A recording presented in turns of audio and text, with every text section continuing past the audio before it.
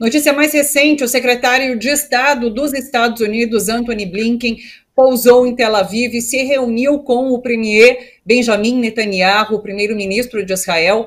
E uh, a gente tem aqui manchete do Haaretz dizendo o seguinte: o próprio Blinken disse que vem a Israel como judeu é, e com Netanyahu, ele diz que os Estados Unidos estão cobrindo as costas do Israel, estão com Israel. Aliás, é, Netanyahu, durante essa coletiva, ele disse que Hamas é o Estado Islâmico e da forma que o Estado Islâmico foi liquidado, o Hamas também deverá ser liquidado. Então, assim, é, falas importantes de Blinken, de Netanyahu, mas ambas no sentido de continuar esses ataques brutais contra a faixa de Gaza, professor. É, explicando para os nossos espectadores a nossa dinâmica aqui, eu seleciono as principais notícias até meia-noite de ontem. Esta aqui é de agora de madrugada, né? por isso nós não teremos imagens é, ela está em manchete, né? Blinken pledged that. É, ele promete então que os Estados Unidos trarão de volta Israel para si. Eu achei muito estranho esta declaração, confesso.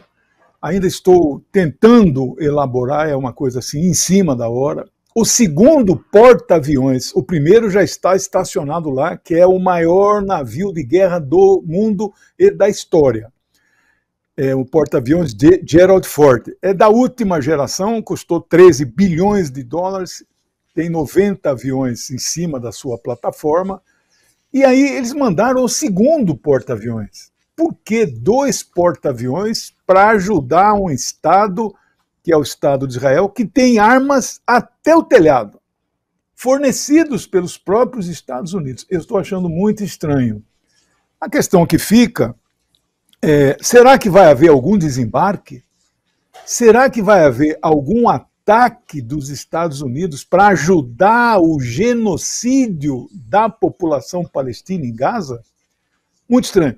Outras pessoas, que eu também já li agora de madrugada, aventam a possibilidade de uma clara intimidação do poderio do imperialismo estadunidense para assustar Irã, Iraque, Síria e Líbano, especialmente, que são os países que integram o chamado arco da resistência que apoiam plenamente a luta do povo palestino. Né? Esses países são aqueles que eu expliquei ontem, são três tipos de posicionamento nos países do mundo. Né? O primeiro é apoio total a Israel contra os palestinos. O do meio, que o Brasil está, é assim, não, cessar fogo, vamos parar com isso, etc. Mas há um terceiro bloco menor de países que são totalmente a favor da luta do povo palestino.